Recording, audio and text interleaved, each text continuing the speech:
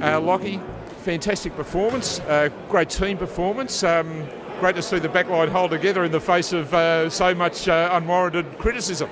Yeah, yeah, we did well. I think I think the boys really stood up today. I think Paulie Bower was really, really good, and Lades put his hand up early in the week, and he was really good too. He's done a bit of duress, but he played really well. So really, I think everyone's really happy just to get the win tonight, and look forward to next week. Did the back six actually use the publicity as a bit of a spur? Did it really sort of galvanise those six players? Uh, not really. You don't really look into it. You sort of trust who you got around you, and you know what you got. You've got to go out there and do. So no, you don't really. You don't even really know what's going on. You got a head knock. You uh, dusted yourself off okay and got through the game okay. Yeah, Gibbsy tried to shepherd for me and ended up getting me, but it was all good. It was sort of one of those uh, sort of stingers, and got back up and it was all right. I probably should have got up a little bit quicker. I think. Is it a relief?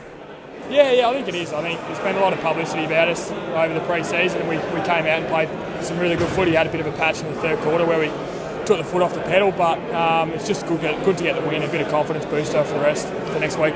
I guess uh, you know uh, practice match four was a bit of an aberration, and yet the third quarter tonight was a, a little bit of a concern. Is that uh, uh you know an overall worry for the team? I don't think it's a worry. We can just learn from it. You're not going to be uh, you're not going to be perfect round one. You're not going to be perfect ever, really. So um, we're just going to learn what we did wrong in that third quarter. We'll look at the tape, and I'm sure we'll review it and uh, go through the go through the right uh, right things. And you're 50 games into your career now. Uh, looking back on that 50 game block, what would you say about it? How would you describe it?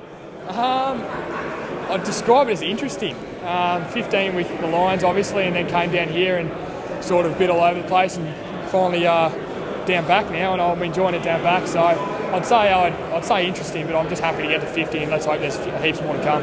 Lachie, you've never looked more comfortable in the back half. Well done, uh, mate. Continue, and good luck against the old team next week. Yeah, beautiful. Thank you.